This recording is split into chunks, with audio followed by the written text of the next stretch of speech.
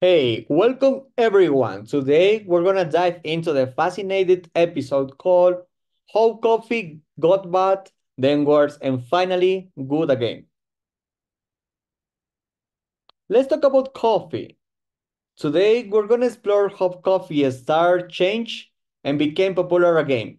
Remember, you can find these episodes and more on the official sites.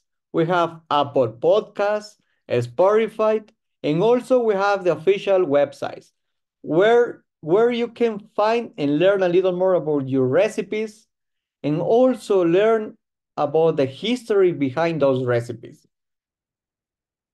In this episode, you are going to learn about uh, different aspects.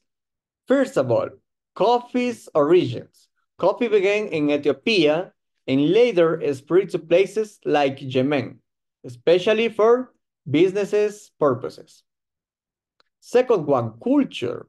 Coffee shops became popular in the Ottoman Empire for discussions and social time. What I mean with this is that people get together in order to discuss and share ideas about their future.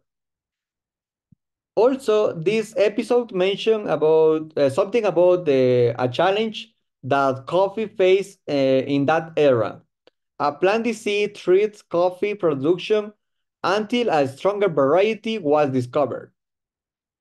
And finally, the modern uh, coffee culture. Today, we appreciate coffee more focusing on quality and fair trade.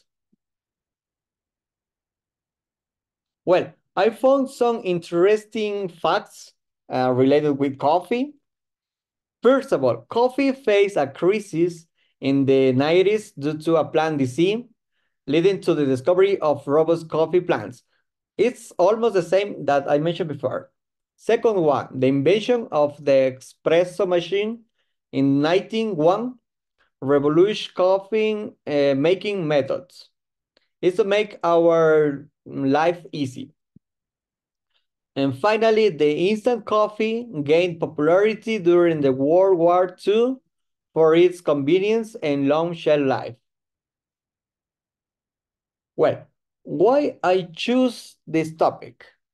Well, first of all, uh, something related with culture. I'm fascinated by how coffee has uh, evolved over time in in its um, in its impact on global culture. Also, uh, learning about new coffee technology and how it affects our coffee experience, our taste. Well, something related with my personal experience. I usually enjoy uh, coffee with my friends and family during my leisure time. And also, I have the opportunity to taste various coffee types during some trips, uh, such as Colombia and Brazil. However, if I have to choose one, just one kind of coffee for the rest of my life, it could be the coffee from my town. For me, uh, it represents the warmth of the people. To conclude, coffee's rich history from its origins in Ethiopia to becoming a global staple. The evolution of coffee making techniques and the impact of technological improvements. Uh, trying to summarize everything, coffee continues to bring people together, fostering a connection and conversation across cultures. That's the end of my presentation. Thanks for watching. See you next time. Bye-bye.